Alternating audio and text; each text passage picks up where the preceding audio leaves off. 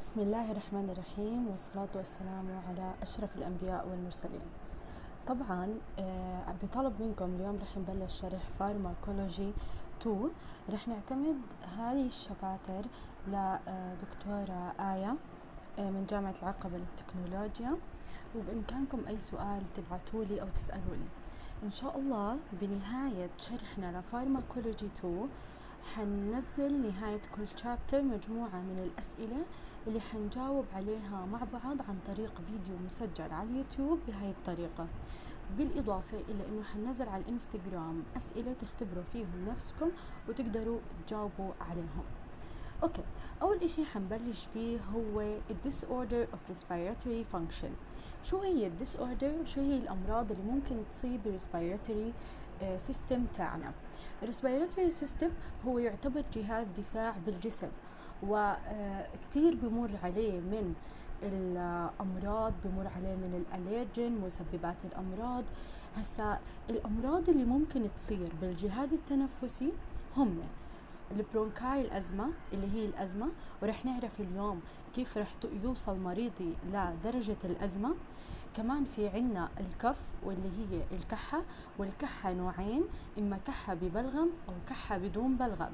وهاي رح أتعامل معها بطريقة وهاي رح أتعامل معها بطريقة. أو ال allergic اللي هي مسببات حساسية سببت في تهيج الجهاز التنفسي أو السي أو بي دي السي أو بي دي بيجيكم على الصيدلية حتى منها فحوصات بسموها COPD وهي عبارة عن انسداد في الأوعية الدموية. هاي الانسداد بتكون خصيصا في الأوعية الدموية اللي بتطلع من القلب للرئة فبصير فيها vasocontraction vasocontraction يعني تضيق. طيب عشان يصير لها vasodilation بدنا ناخذ مجموعة من الأدوية. تمام؟ تمام okay. هاي الأمراض اللي بتصيب ال respiratory system أو جهاز التنفسي اللي عندنا. اليوم بالبداية رح نحكي عن الأزمة والأزمة ما إجت من تلقاء نفسها. بدي أعرف أول إشي إنه الأزمة هي chronic inflammatory disorder. يعني أنا كان عندي inflammatory أو inflammation وهذا ال inflammation لم تتم معالجته بطريقة صحيحة مما أدى إلى إنه يصير عندنا bronchospasm وهي إنه البني آدم مش قادر يتنفس نتيجة انقباض القصبات الهوائية الموجودة عندي مما أدى إنه يصير عندنا mucus اللي هي سائل لزج موجود في الجهاز التنفسي مما أدى إنه يصير عندنا تضيق في ال airways الموجود عندنا في الجهاز التنفسي. تمام؟ إذا هكذا تحدث الأزمة. هاي هي الخطوات اللي بتصير فيها الأزمة بالغالب. تمام؟ لما أحكي chronic يعني هو مرض مزمن حيستمر مع الإنسان لحد ما آه يعني يتوفى. تمام؟ آه لما أحكي inflammatory كلمة inflammatory نفسها دلالة على وجود انتفاخ. هسه رح نحكي لكم وين رح يكون الانتفاخ كيف رح نعالج الانتفاخ وشو الفرق بين الجهاز التنفسي والأوعية الدموية بالشكل الطبيعي وشو الفرق بين الجهاز التنفسي والأوعية الدموية في حالة الأزمة. طب الأزمة هي chronic inflammatory disorder of bronchial airway. هاي الاير صار فيها اضطراب. هذا الاضطراب نتيجة وجود إشي في مجرى الهواء. هذا الإشي بده يكون أليرجين سواء آه، حبوب لقاح سواء تراب سواء الناس بتحسسوا من الصوف من الأشياء بتكون صغيرة موجودة بالصوف ناس بتحسسوا من أشياء صغيرة بتكون موجودة في السجاد وما إلى ذلك. هاي الأشياء كلها ال allergen فاتت على ال respiratory system وأدت إنه يصير في عنا أزمة. طيب طيب هاي ال allergen كيف سوت الأزمة؟ سهل كتير كيف هاي ال allergen سوت الأزمة. فأنا عندي إشي اسمه في آه، جسمي ال mast cells. هاي ال mast cells موجودة هون. عادة ال mast cells بيكون عليها receptors هاي ال receptors رح تستقبل تمام رح تستقبل ال allergen اللي هو مسبب الحساسية ولازم يكون شكل ال allergen نفس شكل ال receptors مجرد ما ارتبط ال allergen مع ال receptors رح يكون في عندي هون إشي اسمه هيستامين. فرح يصير عندي release لل histamine برا ال mast cells وزيادة إفراز الهستامين برا ال mast cells هو آه نتيجة تحفيز إشي اسمه ال IgE واللي هم هاي ال IgE بنسميها antibody ما هاي ال antibody بتتحفز نتيجة ارتباط الالرجين بالريسبتورز ارتبط الالرجين بالريسبتورز معناتها الاي جي اي رح تتحفز. تحفزت الاي جي اي ما دام هيك الهستامين رح يطلع برا ال mast cells ورح يزيد عندي آه، أو رح يحدث عندي الأزمة. تمام؟ طيب. الهستامين اللي بيعمل الهستامين أول إشي بيعمل زيادة إفراز الهستامين معناها إنه إيش عندي في الاي جي اي ارتفعت. ارتفعت ارتفاع كبير وهاي بنسميها ال antibody طب ال antibody هاي ارتفعت رح يصير في عندنا إشي اسمه inflammation ال inflammation لما يكون موجود عندنا inflammation شوي خلينا نرسم خريطة مفاهيمية عشان نستوعب أكثر تمام. هسا رح يصير في عندنا inflammation صح؟ تمام؟ إذا صار في عندنا inflammation رح يصير عندي ثلاث أشياء أساسية. طبعا ال inflammation صار نتيجة إفراز الهستامين. إفراز الهستامين زاد عندي من ال IgE اللي هي ال antibody فبالتالي صار عندي inflammation طيب أول إشي رح يعمله ال inflammation هو bronchospasm ومعنى كلمة bronchospasm إنه رح يزيد من انقباض الأوعية الدموية والقصبات الهوائية الموجودة في الجهاز التنفسي. bronchospasm زادت انقباض القصبات الهوائية في الجهاز التنفسي. طيب ثاني إشي رح يصير في عندي آه mucus. mucus رح يصير في عندنا سائل آه لزج جدا لزج. مما يؤدي إلى تضيق كمان الأوعية الدموية لأنه هذا ال mucus رح يسكر لي على الأوعية الدموية.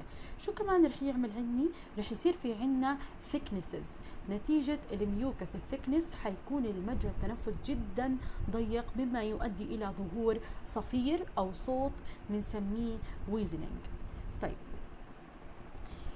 آه قبل ما نروح لل slide اللي وراها رح نشرح بطريقة مفصلة أكتر. هيو هون. اللي هي آه، شو هي اللي بده يصير آه، في الأزمة. هسا في الحالة الطبيعية رح يكون عندي هاي الشكل الحالة الطبيعية للقصبات الهوائية. المفروض إنه يكون عندنا ال airway واسع حيفوت ال airway من هاي المنطقة مكان واسع. آه المفروض إنها تكون عندنا ال muscle عامله vasodilation يعني متوسعة. المفروض إنه ما يكون في عندنا mucus thickness ابدا. طيب في حالة الحالة الخطرة اللي هي حالة وجود الأزمة. في حالة الأزمة اللي هي حالة وجود ال allergen ال allergen لما ارتبط بال receptors حفز إفراز الهستامين تحفيز إفراز الهستامين زاد عندنا الاي جي اي اللي هم ال antibody نتيجة ذلك صار عندنا inflammation ال inflammation رح يترتب بهاي الصورة كالتالي. عندنا thickness airway في عندنا ال muscle معمول لها آه آه انقباض vasocontraction وفي عنا mucus هدول الثلاث أشياء الرئيسية اللي حتصير عندي نتيجة ال inflammation ولما حكينا inflammation يعني رح يكون في انتفاخ. هذا الانتفاخ وين رح يكون؟ لما لما هاي لما هاي اللهم صل محمد ال muscles يصير لها vasocontraction حيصير في عندنا انتفاخ في هاي المنطقة. فرح يقل المكان اللي حيمر منه الهواء مما يؤدي إلى وجود صفير. تمام؟ تمام. نرجع على الشابترز اللي مرينا عنها طيب هسا بدي أحكي عن شو هي الخصائص تاعون الأزمة. يعني أنا كيف بدي أميز إنه مريضي معاه أزمة؟ شو بده يكون صاير بالشعب الهوائية تبعت المريض؟ أول إشي رح يكون الجهاز التنفسي تاع المريض بيستجيب بطريقة جدا حساسة لأي آه، مؤثر خارجي. يعني بده يكون جدا sensitive جدا sensitive يعني أي مؤثر خارجي مهما كان قليل رح يستجيب له الجهاز المناعي وخصوصا اللي موجود بال respiratory system بطريقة غير طبيعية. يعني خلينا نحكي إنه رح يبالغ بانفعاله. طيب. فأول عرض حيكون عندنا حكينا ال inflammation حيكون في عندنا آه أيضا آه تورم آه وأيضا مخاط سميك جدا. طيب شو يعني bronchospasm؟ bronchospasm كلمة bronchospasm كتير مهمة لأنه رح نمر هسه علينا كيف بدي أعالج الأزمة وحيعتمد كتير الموضوع على ال bronchospasm ال bronchospasm يعني أنا عندي contraction في ال smooth muscles اللي موجودة في القصبات الهوائية تبعت الجهاز التنفسي. يعني بده يكون عندنا contraction في ال bronchial muscles في اللي هو بنسميها آه انقباض القصبات الهوائية. هاي معنى bronchospasm تمام. هسا بدي أعرف شو ال symptoms of أزمة. طيب. إيه عشان أعرف شو ال symptoms of ازمه رح كتير يفيدني الأشياء اللي حكيناهم قبل شوي. أول إشي حكينا رح يصير في عنا آه آه محمد اللي هي acute bronchospasm رح يكون في عنا short breathing يعني تنفس بطريقة سريعة وعدم يعني ما بيكون في بين الشهيق والزفير مسافة طويلة أو المسافة اللي لازم تكون بيكون بين الشهيق والزفير مسافة جدا قليلة. آه كمان بيكون في عندي صوت صفير أيضا بيكون في عندي تنفس سريع وكف طيب. طبيعي يكون كف لأنه ممكن لأنه الجهاز التنفسي بده يستجيب. للضرر اللي موجود ويحاول يطلعه برا الجهاز التنفسي. فال central nervous system تعطي أمر إنه يصير في عنا cough. طيب هسا أنا في عندي بالعلاجات بالعلاجات في عندي طريقتين آه للعلاج. بس قبل ما أحكي عن طريقتين للعلاجات بدي أحكي شوي عن ال causes عن ال causes آه رغم إنه إحنا حكينا عنها. ال causes حكينا ممكن تكون infection هذا ال infection ما تم معالجته بطريقة صحيحة فبالتالي أدى إلى وجود الأزمة أو إنه الشخص أخذ أدويته بس ما كملهم فزاد ال infection أكثر بلما ما ياخذ أصلا. ال stress ال emotional آه كثير هسا ال stress اللي بزي اللي بصير في حالة ال stress بصير عندنا زيادة في إفراز الكورتيزون أو الكورتيزول من الجسم ولما تصير كمية الكورتيزول في الجسم أكبر من الحد الطبيعي رح يسوي عندي inflammation ال inflammation هاي مع الوقت رح تصير أزمة. فهاي هي ال stress اللي ممكن تعمل لنا أزمة. كمان في عنا ال exercise في ناس ما بيقدروا يعملوا رياضة أو بيعملوا الرياضه بطريقة خاطئة وتنفس قليل ما بفوتوا كميه أكسجين كفاية فبالتالي ممكن يؤدي هذا الشيء إلى أزمة.